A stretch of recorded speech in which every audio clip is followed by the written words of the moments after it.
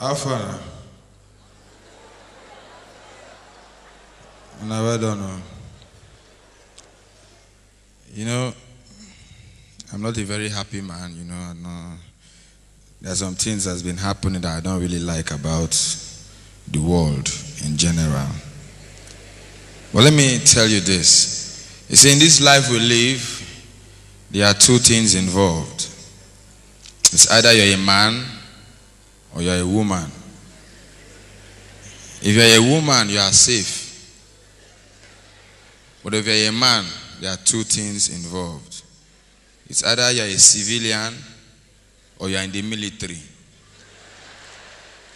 If you're a civilian, you are safe.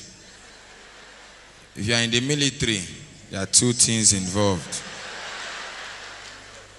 It's either you're in the office or you're at the war front. If you're in the office, you are safe.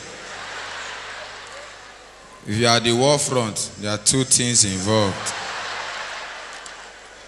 It's either you kill somebody or somebody kill you. If you kill somebody, you are safe. If somebody kill you, there are two things involved.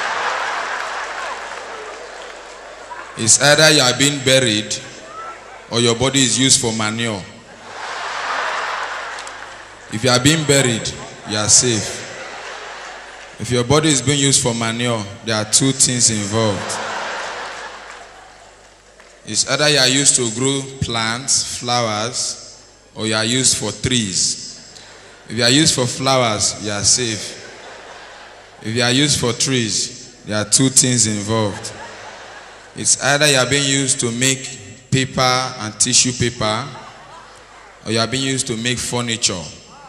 If you are used for furniture, you are safe. If you are used for tissue paper, there are two things involved.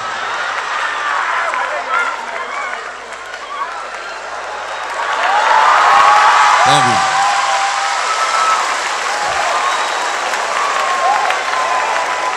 It's either you are being used by a man or you are being used by a woman. If you are being used by a man, you are safe.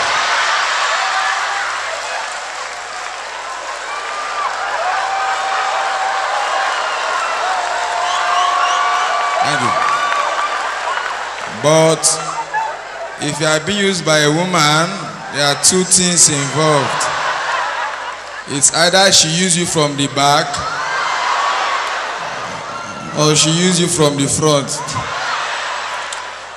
If you are being used from the back, you are safe. If you are being used from the front, there are two things involved. It's either you contact gonorrhea or you contact HIV. If you contact gonorrhea, you are safe. If you contact HIV, there's only one thing involved. You will die. Thank you. Thank you.